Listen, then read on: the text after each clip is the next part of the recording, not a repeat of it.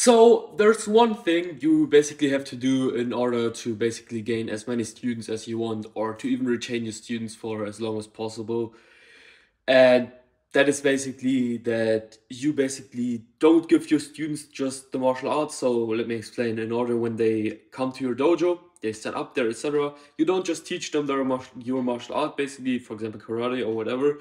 Uh, what you're basically doing is that you're giving them an identity shift. So they're here, they're not able to do karate or whatever martial arts, and you're you're bridging the gap to over here where they're then um, able to, for example, be a blue belt, black, black belt karate uh, student of your dojo, basically. Um, now, usually this arrow goes up because when they don't know anything about karate, they're usually a bit down here, and then usually when they know something about karate, they're usually up here. So most people tend to to draw these arrows up when they talk about goals and not down because well, white belt, uh, like a black belt, is obviously better than a white belt.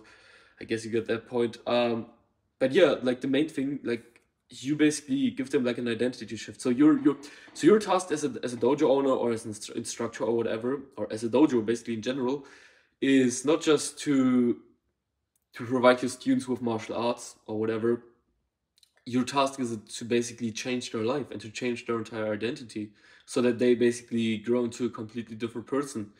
Um, it's the same with it's the same with basically any other business. Let's for example take like um, a fitness coach or whatever.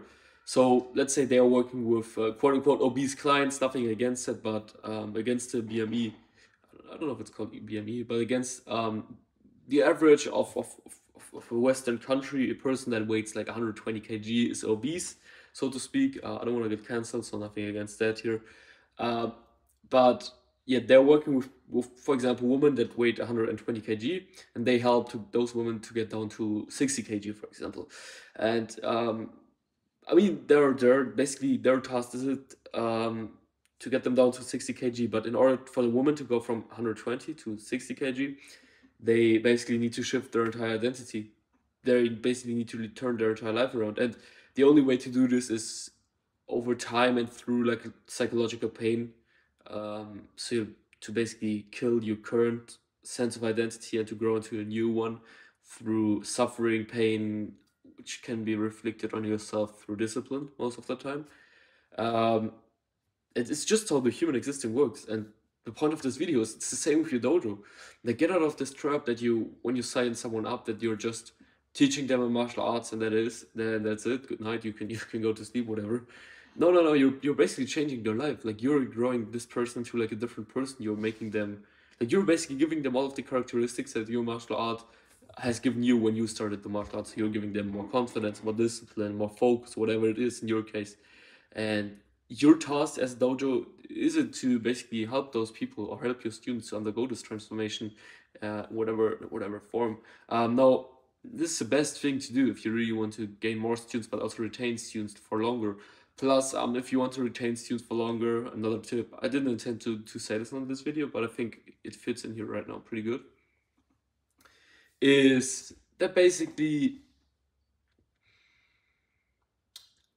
you want to have a vision for your students. So when they sign up, you maybe sit down with them, or if, if you have people who do this, all right, let's say one of the instructors sits down with them, and then they explore how how many how, what kind of goals they want to achieve in five years down the line, and one year down the line, and ten years down the line, right?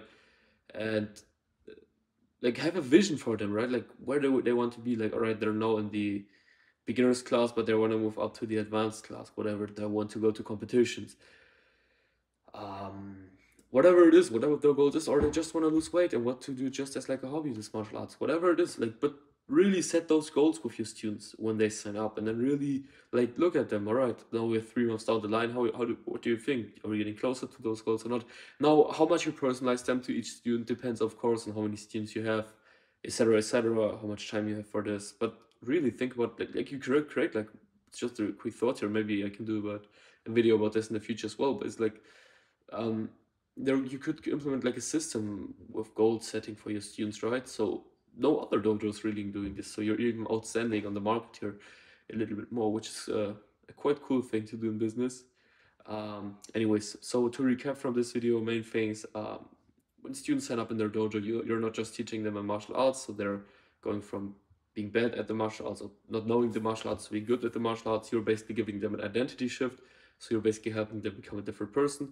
Plus, if you really want to uh, keep students for long term in your dojo, just set a vision for them, set like goals for them, what they want to achieve when they come to your dojo. With that being said, if you want more students for the dojo, click the first link in the description and take care. I'll see you on the next one.